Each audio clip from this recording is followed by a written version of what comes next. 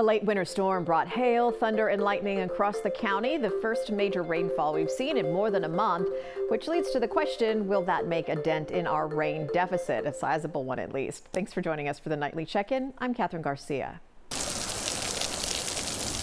Hectic, like at work, hail, we didn't expect that, and it's crazy. We don't work in these conditions.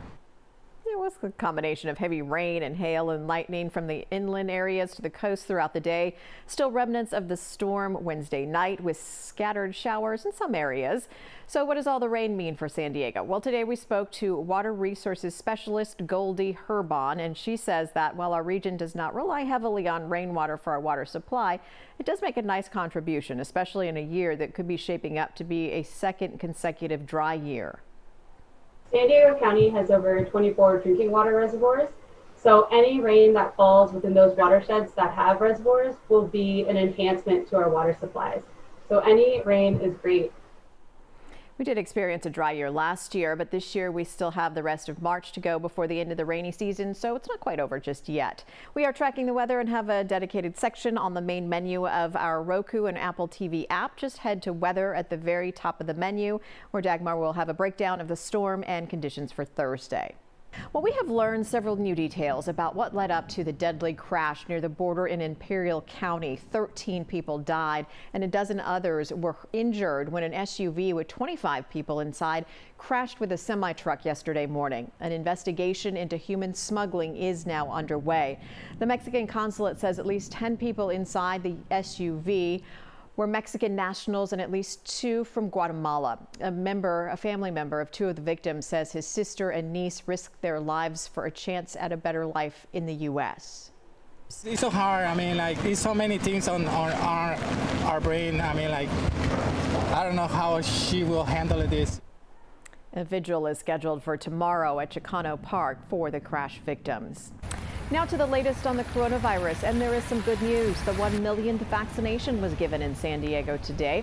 County Supervisor Nathan Fletcher says they vaccinated 100% of seniors at skilled nursing facilities and 70% of our healthcare workers. While our case rate this week did not improve enough to move us from the purple to the red tier, there are expectations that will happen in the next few weeks. Governor Newsom says California is waiting meanwhile on more Johnson & Johnson vaccines expected next week.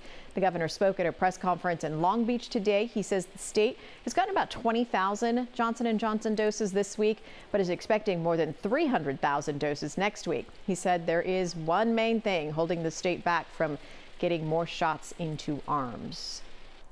The only constraint of us providing more vaccine to more people in a much quicker and expedited manner and also an equitable manner is manufactured supply. The governor says nearly nine and a half million doses have been administered in California. This week, one and a half million more doses are expected to come. Liquid handling robots might be able to detect positive COVID 19 cases and prevent outbreaks. This is according to researchers at UC San Diego.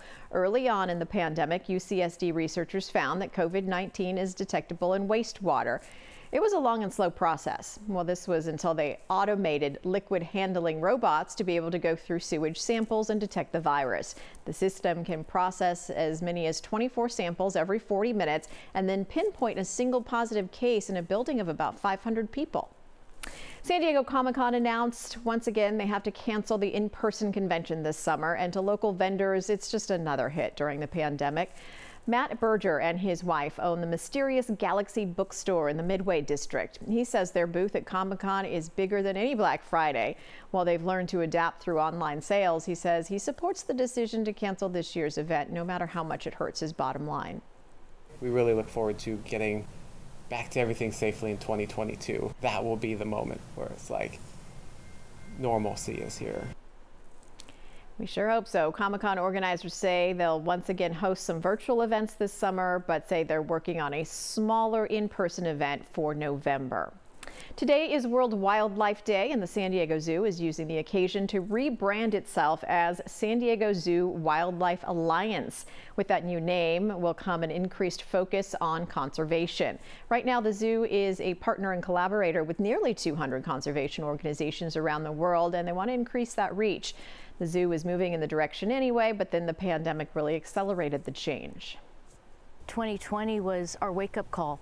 The pandemic is really a symptom of that nature is out of balance. And I look at 2021 as our turning point. We're really putting a strong effort forward to focus on safeguarding biodiversity and really trying to reestablish that balance with nature. The San Diego Zoo and Safari Park will keep the same names, but their continued successful operation will help fund those conservation efforts. It's the beginning of an era for a group of penguins in Chicago. These four penguins took a little bit of a field trip to the Friends experience on Michigan Avenue at the Shedd Aquarium. They got a private tour of the Chicago-based replica of the TV show's iconic set. You can see the replicas of the famous New York Friends apartments. The rest of Chicago can experience this Friends experience when it reopens to the public March 17th. That's going to do it for our nightly check-in. Have a good night.